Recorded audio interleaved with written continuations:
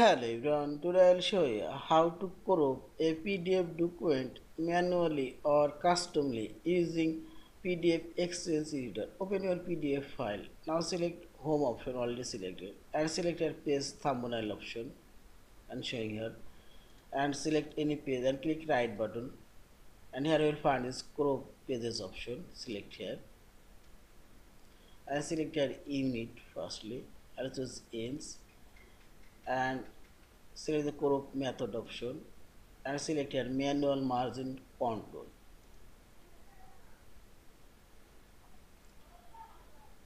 And I will select all pages manual margin and type here your crop margin. I will crop 1 inch left point 8 inch right also point 8 inch top 1 inch and bottom 1 inch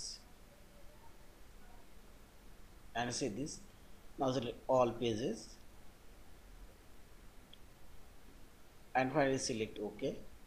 Also you can choose a specific pages if you want. Now select ok.